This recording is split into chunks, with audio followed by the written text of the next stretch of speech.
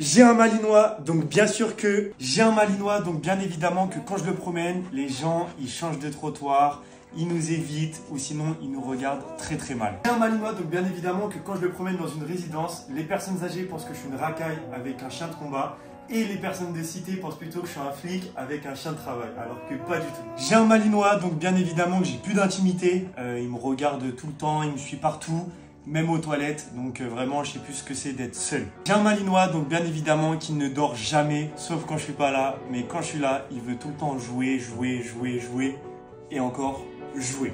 J'ai un malinois, donc bien évidemment j'ai choisi la meilleure race et que j'aurais pas pu avoir mieux que Seven. C'est vraiment l'amour de ma vie. Mmh. Tu fais bisous? Fais-moi bisous. Oui.